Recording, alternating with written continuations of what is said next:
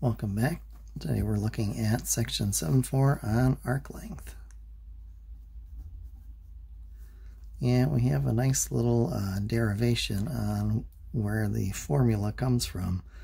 Uh, if you kind of understand how something works, uh, it tends to go into your long-term memory versus just your short-term memory.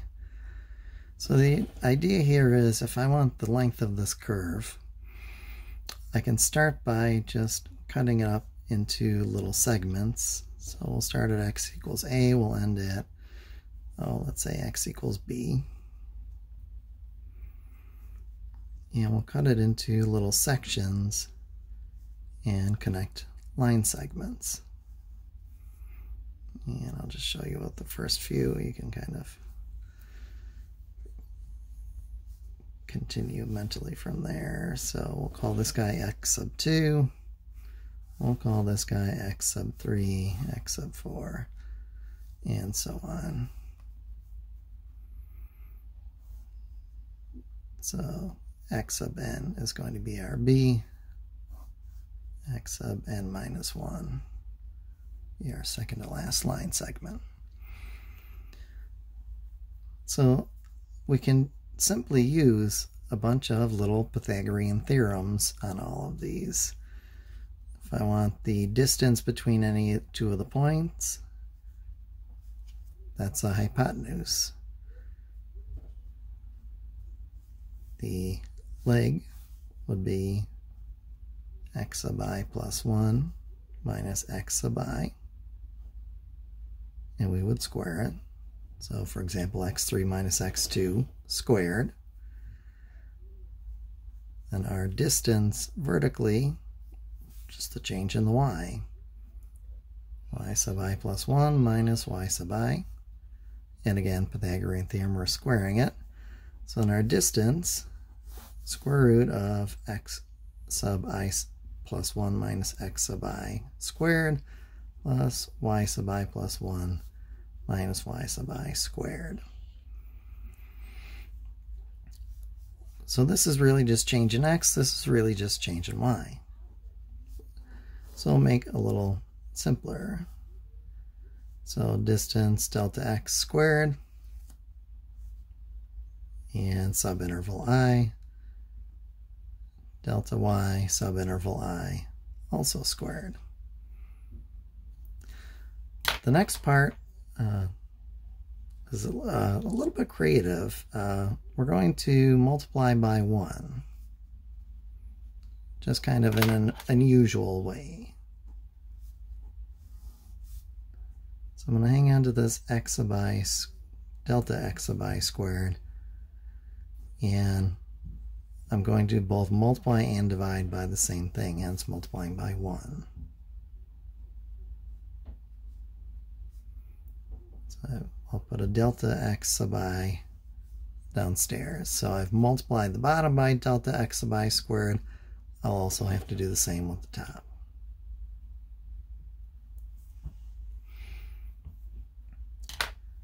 Now I can do a couple things with this. One, it's in both of these. I can factor it.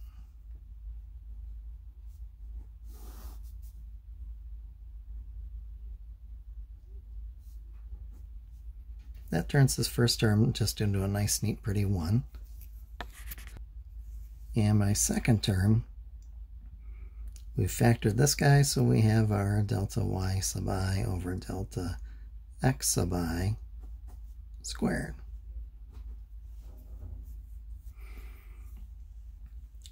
Okay, square root of delta x squared, delta x uh, we don't really need the absolute value that we usually would since uh, delta is a distance. Distance is assumed to be non-negative.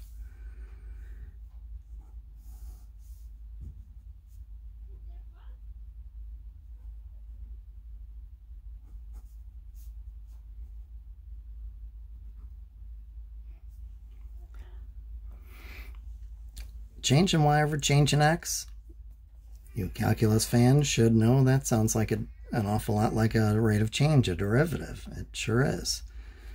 So then our distance, square root of 1 plus f prime squared. That's a lovely f there. 1 plus f prime squared, uh, delta x. We can also call that dx. So then if we let s be the sum of all distances,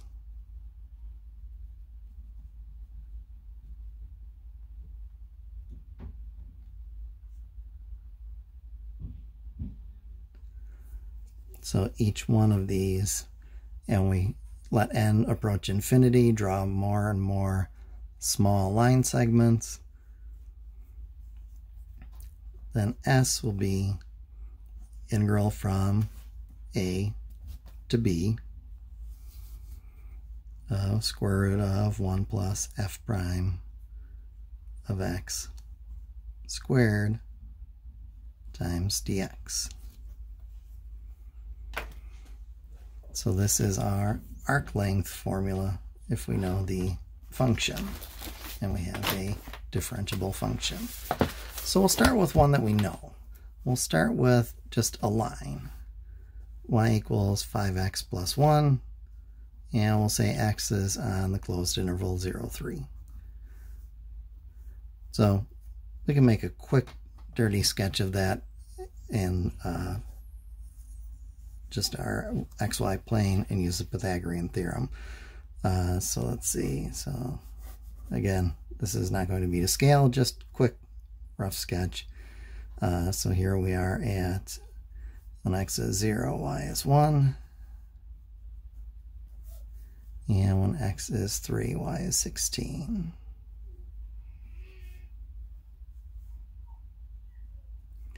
So if I sketch in a nice little right triangle there, from 0 to 3 is 3 units, from 1 to 16 is 15 units. So distance is square root of 9 plus 225. Our distance, square root of 234, and that has a 9 as a factor, yeah. 5 and 4 is 9, yeah, 9 is a factor. Uh, so I go in there twice. 54 would be 6. So distance would be 3 root 26. All right, so we know the distance of this using just the Pythagorean theorem method. Uh, nice thing about Pythagorean theorem, as you can see, pretty straightforward to use. Uh, doesn't work with curves. So let's practice with the arc length formula.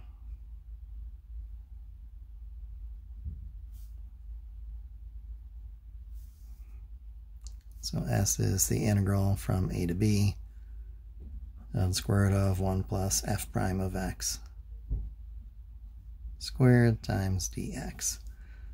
So our arc length for this guy, integral from given 0 to 3 square root of 1 plus,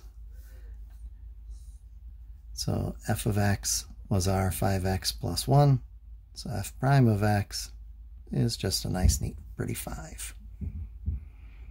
So f prime squared would be 5 squared, and we multiply by dx, so s is integral from 0 to 3 of root 26 times dx. Antiderivative of a constant is the first power, so s is equal to root 26x evaluated from 0 to 3, which is 3 root 26. So we do get the same arc length. So with a line, no problem.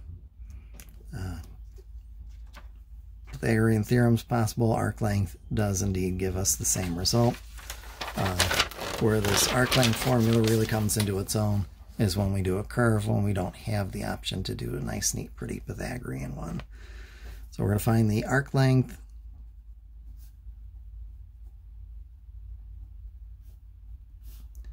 of y is 2 thirds by x squared plus 1 quantity raised to the 3 halves on the closed interval 0, 1. x is on that closed interval. Uh, so one of the things we're going to need is a derivative. So y prime 2 thirds by 3 halves by x squared plus 1 to the 3 halves minus 1. 3 halves minus 2 halves is 1 half. And don't forget your u prime, so times 2x. So if you need a little review on that, uh, review your chain rule. That one, you could even look at general power rule.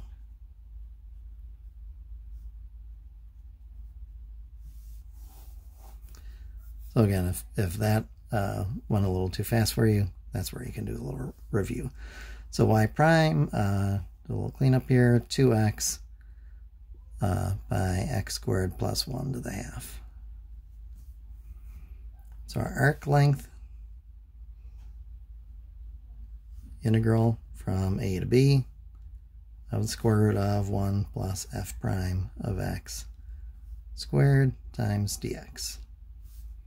So our arc length here, integral from 0 to 1, square root of 1 plus f prime of x this time is an expression 2x square root of x squared plus 1 squared times dx. So our arc length, we've got a little cleanup to do before we do our antiderivative, 1 plus all right, two factors there. So 2x quantity squared, 4x squared. Square and square root will cancel. x squared plus 1. Hang on to your dx.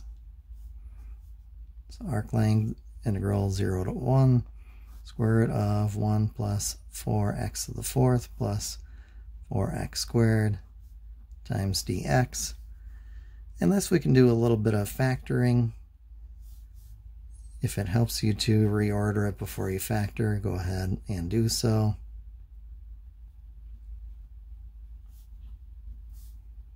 So our arc length then, integral from 0 to 1 of square root of, notice this is 2x squared plus 1 squared times dx.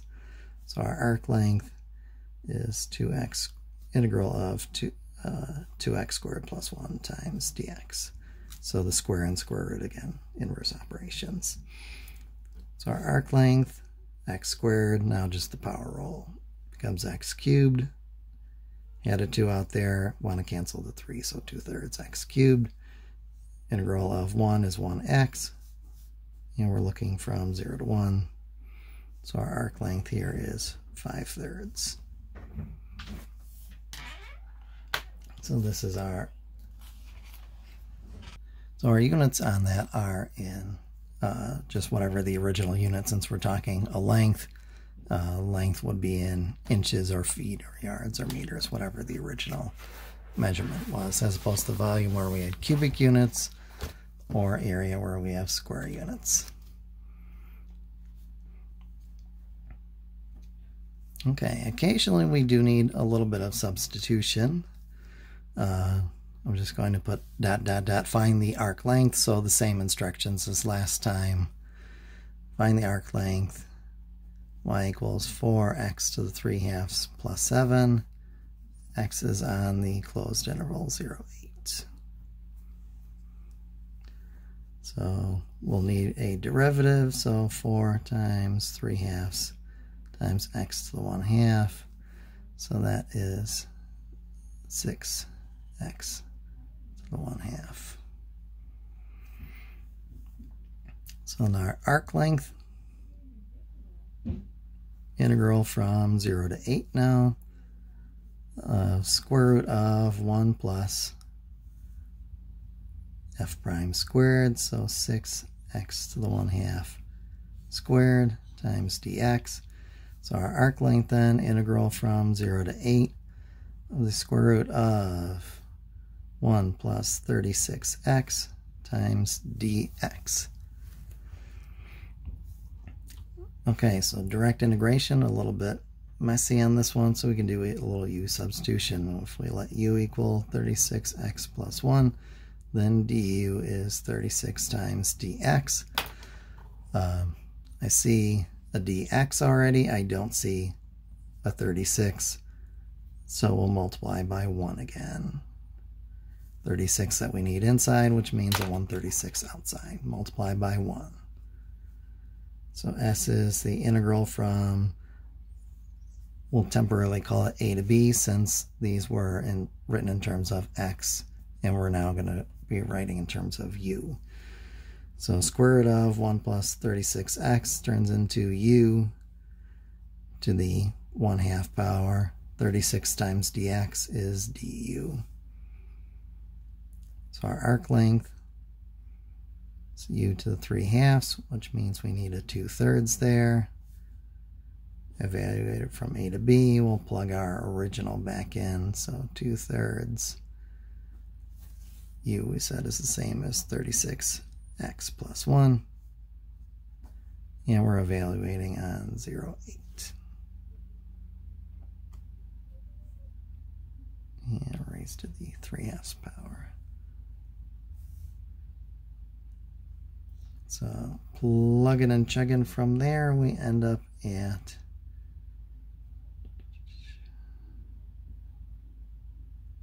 two thousand four hundred fifty six twenty sevenths.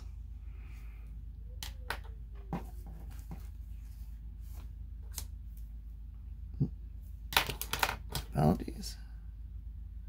And remember your 136, that way that number will actually make some sense there.